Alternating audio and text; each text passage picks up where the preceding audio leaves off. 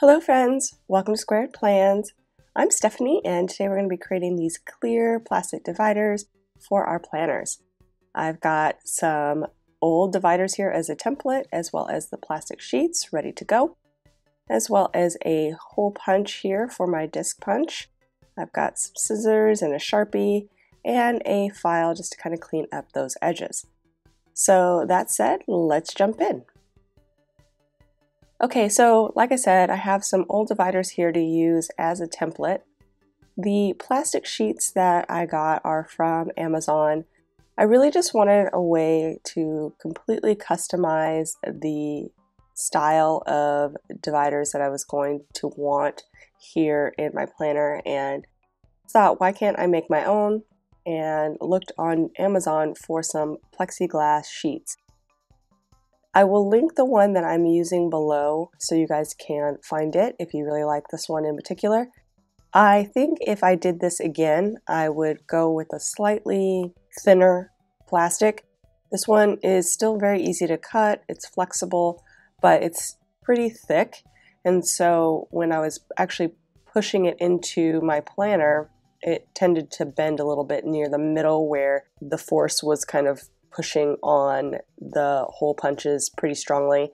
So that said, I think I would have went a little bit skinnier, make it a little easier on myself.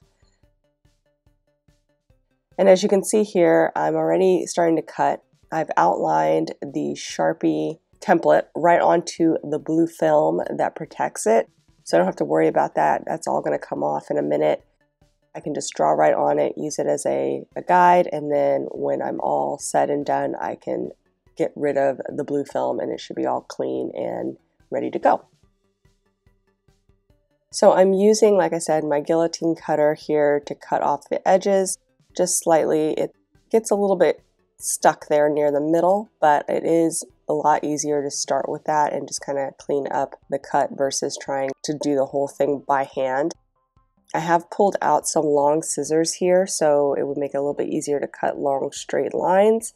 I usually use smaller scissors, but for this project, the long scissors were really helpful.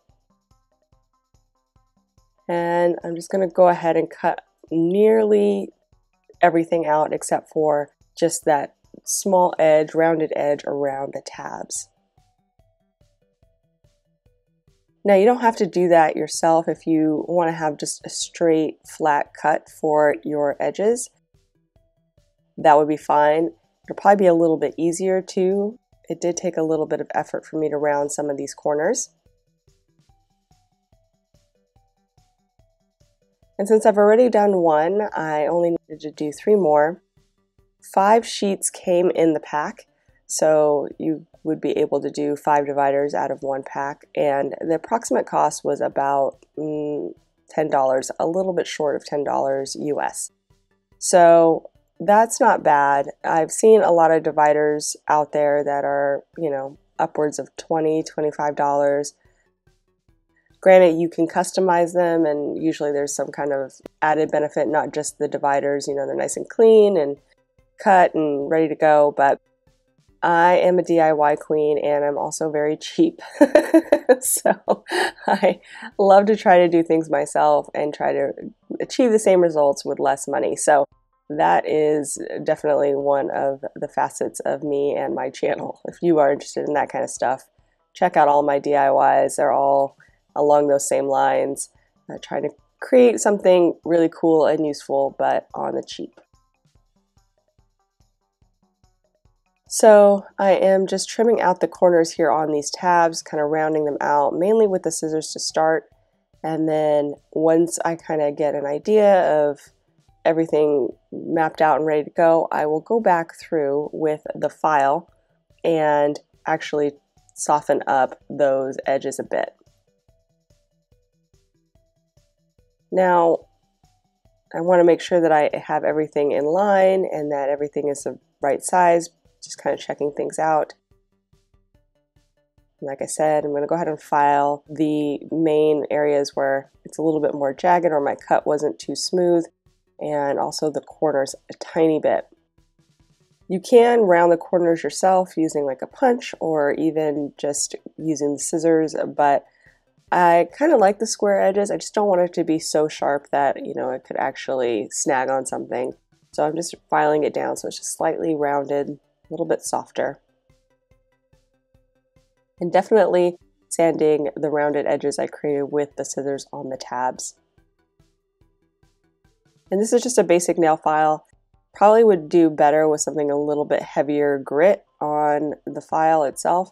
This one kept getting kind of ripped into because it was a pretty fine grit, but I didn't want to use one that I actually use normally on my nails. This one is kind of like an old one, so I just picked it up and, tried that one out and, wasn't really worried if I kind of destroyed it here. So just an FYI there on the file.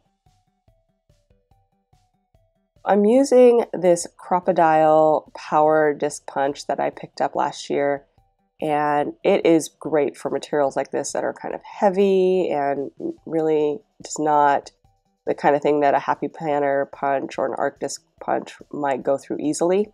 So I'm using that and I've was always kind of concerned how to start the very first hole and then I realized there is a ruler on that little stick out there that has you for a guide so you just have to use the halfway point on that and you're ready to go to get started. So I kind of made a little Sharpie mark in there. I don't know if you guys got a chance to see that just so I can easily tell what mark I should start on, but it's basically that little midway point and you just line it up, start it off, and then the rest is pretty easy, just aligning it with the preset hole there on the disc punch.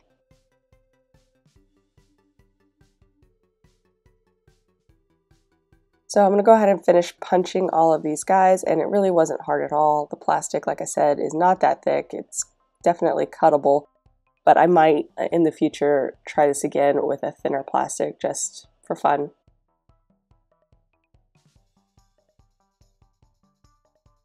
So now we're all set. So I'm going to go ahead and strip down all of that protective blue film that's on top of them.